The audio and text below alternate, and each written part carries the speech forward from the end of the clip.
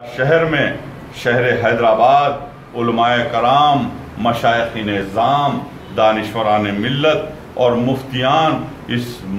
شہر میں جامع نظامیہ ہے۔ اس شہر میں جامعۃ المومنات، جو دختران ملت کی ایک عظیم یونیورسٹی ہے اور ایک سو چالیس سالہ قدیم جامع نظامیہ جو اسلامی یونیورسٹی ہے اور یہاں پر سے بڑے بڑے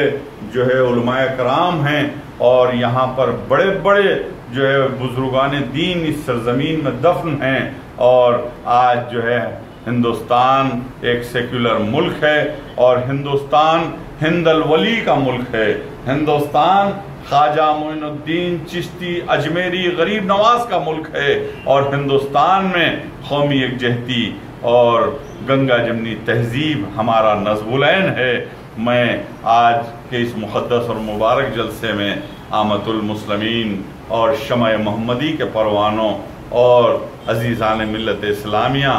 آپ سے یہی التجا کرتا ہوں کہ مساجد کو آباد رکھو اور ماہ رمضان المبارک کا والہانہ استقبال کرو اور اپنی عبادتوں سے روٹھے ہوئے خدا کو منا لو